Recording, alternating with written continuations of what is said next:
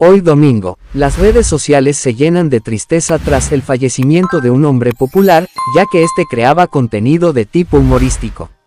Se trató del señor Francisco Antonio Mora, conocido como Bienvenido el Mejor, arroba Bienvenido el Mejor Oficial, quien ha dejado una marca imborrable en la comunidad digital y en los corazones de sus seguidores. Bienvenido se destacó por su habilidad para iluminar el día de muchos con su ingenio y carisma. Sus videos no solo brindaban risas, sino también una conexión sincera con su audiencia, que encontraba en su contenido un escape alegre y positivo. Extendemos nuestras más sinceras condolencias a sus familiares, amigos y a todos aquellos que se sintieron tocados por su trabajo y su personalidad.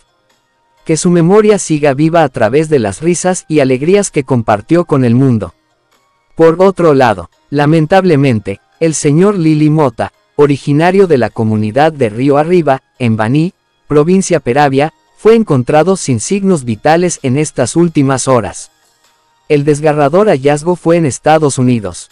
En tanto, la noticia ha causado gran tristeza entre sus seres queridos y la comunidad que lo conocía, ya que este era muy apreciado en su tierra natal por su amabilidad y contribuciones a la comunidad.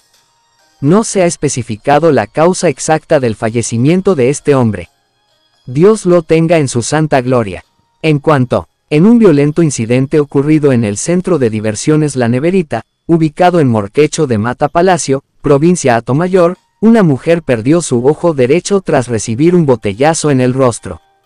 La víctima, Juana Reyes, de 61 años, residente en el Beitei Casa Colorá, fue agredida durante una trifulca que se desató en el lugar.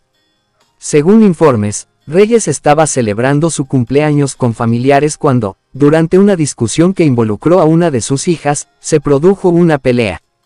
En medio de la confrontación, una botella fue lanzada, golpeando a Reyes en el rostro y causándole una grave herida que resultó en dicho desenlace, viéndose los familiares en la necesidad de trasladarla de urgencia al Hospital Provincial Dr.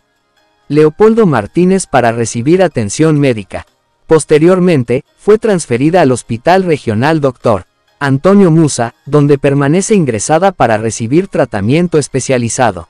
La Policía Nacional ha iniciado una investigación para esclarecer los detalles del incidente y determinar las circunstancias que llevaron a esta violenta agresión.